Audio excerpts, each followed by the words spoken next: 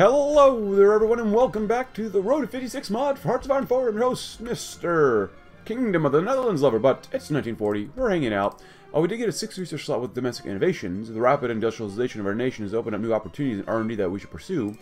We're going to be doing uh, domestic vehicle designs right now too. Uh, giving our automobile industry more freedom in handling its designs may have side effects in improving production efficiency as well. Which is great. Continental shipbuilding? Our shipyards in Holland, Zeeland, and Friesland must be greatly expanded to enable any large-scale naval construction plans. I guess at this point, like I said earlier in the last video, I just want to go to fascist, but um, we'll see, I guess.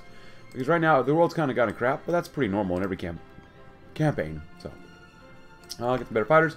So here's the thing: the Axis is they're doing well against France. Germany's losing to them. They lost Southeast Germany and parts of Silesia, even though Poland took over Slovakia and kind of cut Czechoslovakia in half. So, yeah. I'm not sure what that's about, but, you know, whatever. Um, we're out of manpower now, which does suck. do that. Save a little bit of manpower. We can't core these because... We can't core the lowlands because we're not communist or fascist.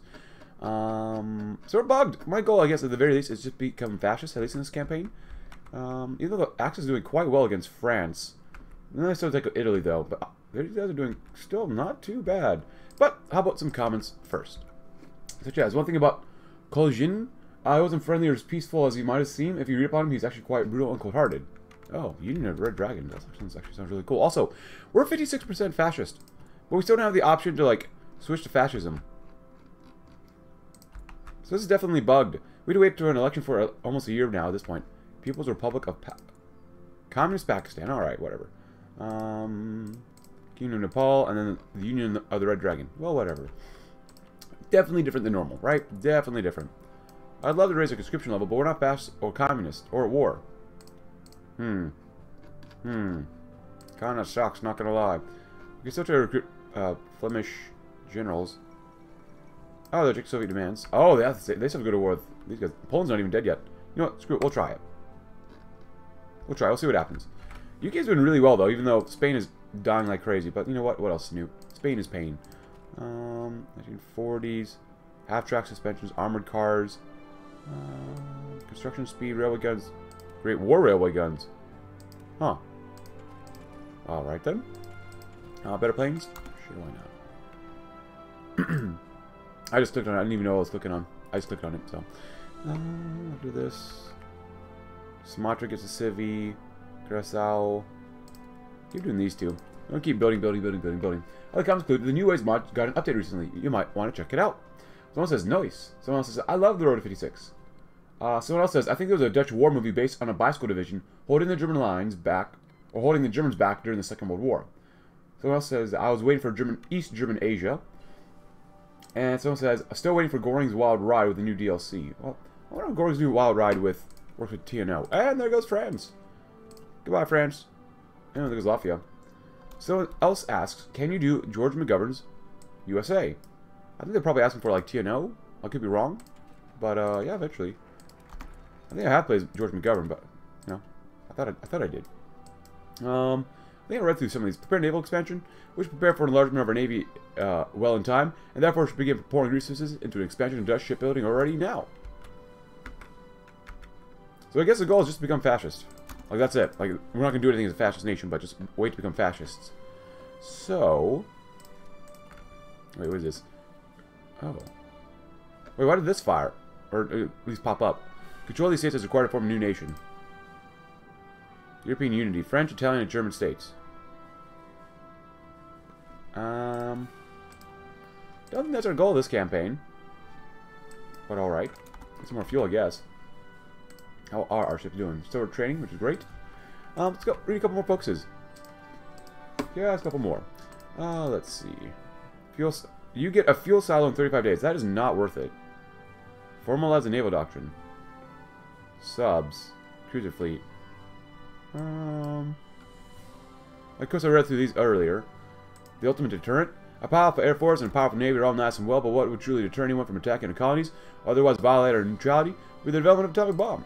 Make use of our riches. Our nation possesses the resources of a major power while wearing the garb of a minor one. Perhaps we make better use of the riches that are available to us. We may well ascend to the middling level. If not, our place among the dominant powers of the world once again. Well, everyone, at this point, uh, my game is super bugged, as many people did point out to me.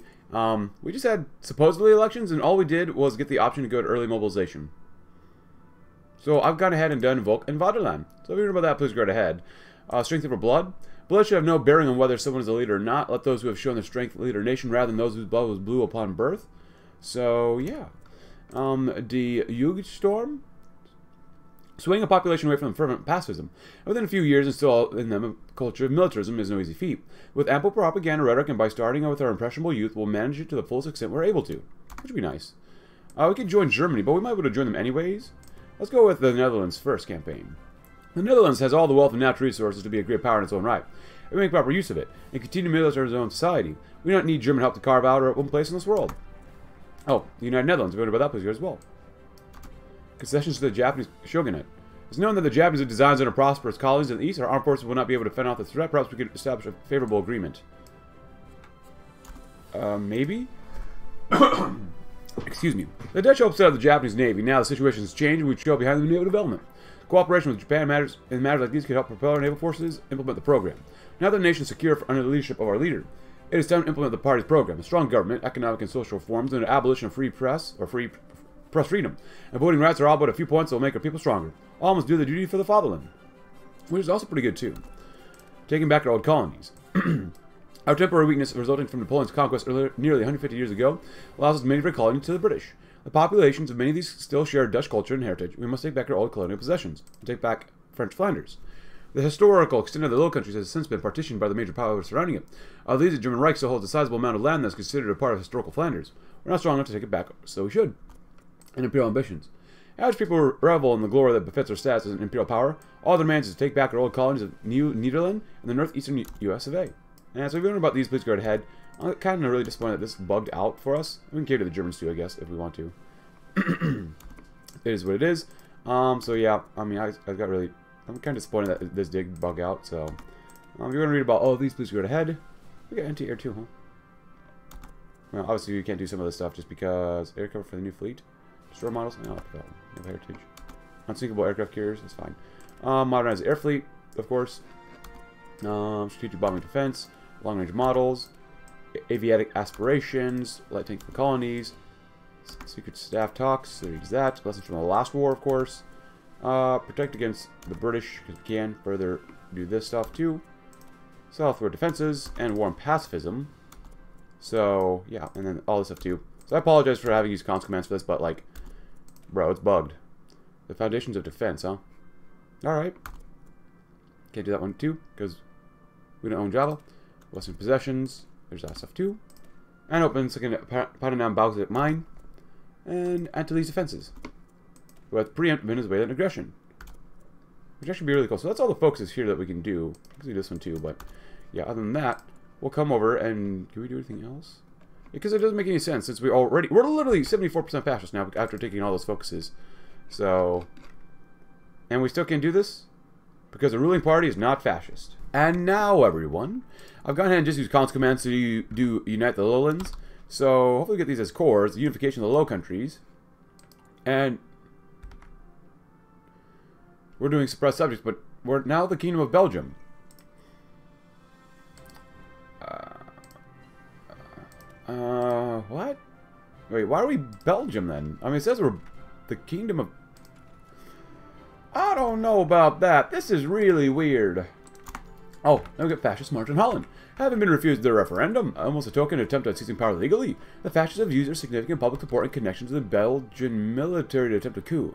The true government has refused the terms and claims it's going to fight it to the end to preserve the Kingdom of Belgium as we know it. Stop it at many costs. Um. Uh. Now we get Anton Mussert.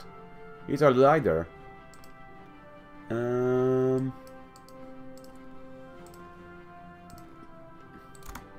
I don't like how bugged this is, but okay.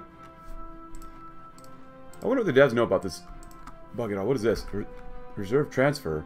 Reinforce rate. Our first supply troops is essential to keep the fighting divisions ready to fight. And we do have planes here as well, so we combine and make them bigger. Alright, well. Where are you guys at? Ah, you're down there.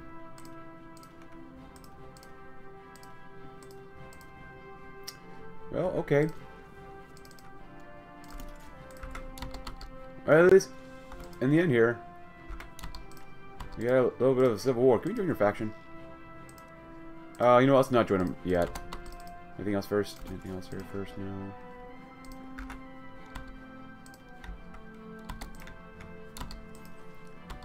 Um, it's very odd, but okay.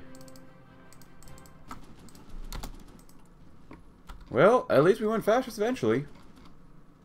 Water lines, national unification, political military unification. Ooh, that hurts our political power game minus 50%. Jesus. That one first. I want to say no first for now. Oh, looks like that division died down there. That sucks. These guys should be pretty darn thick. That's fine for now.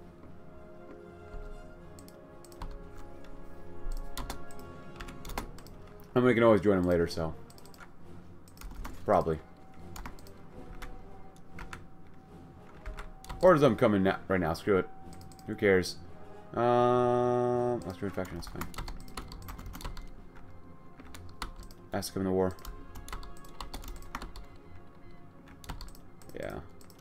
Oh, Japan also joined the Axis too, so. Where are you going?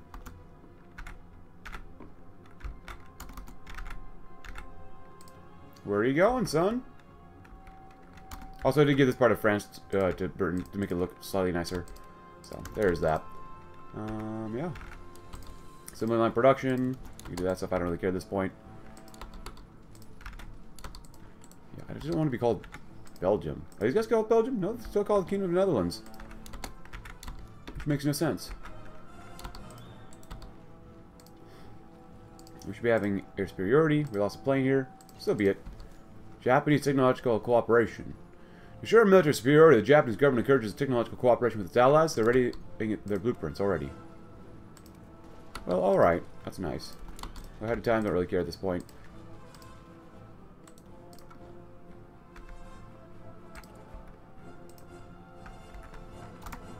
Well, I mean, this is our core territory, so... Yay, we won! Yay! As we should. Now we can't do anything now because war. We cheated for the focus tree, and yeah. Um. Okay, well, whatever. I guess that's going to be it for us, just because I, I guess the medium is fighting the Soviets. Comintern. That's a very strong Japan. Oh, and the North American alliance with Canada, America, and the Dutch cities and the other fake Dutch, but you know, whatever. Uh, yeah, so that's it. If you enjoyed this really freakish campaign, uh, leave a like. Uh, subscribe if you're new. Check out my Discord link in the description below, and I guess I'll see you tomorrow. And hopefully a campaign that isn't so bugged. Thanks for watching. Have a great rest of your day.